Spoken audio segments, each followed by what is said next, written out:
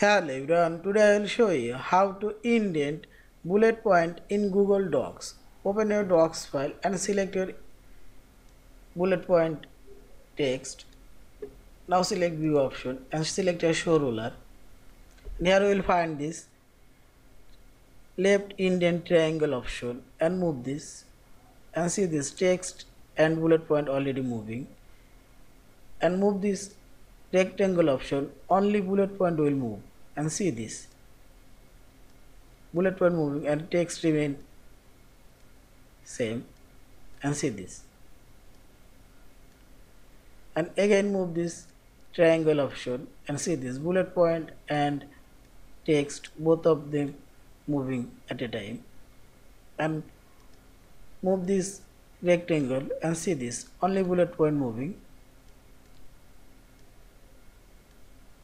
yeah. And move this triangle and indent.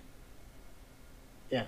In this way you can adjust bullet point indent and text spacing yeah.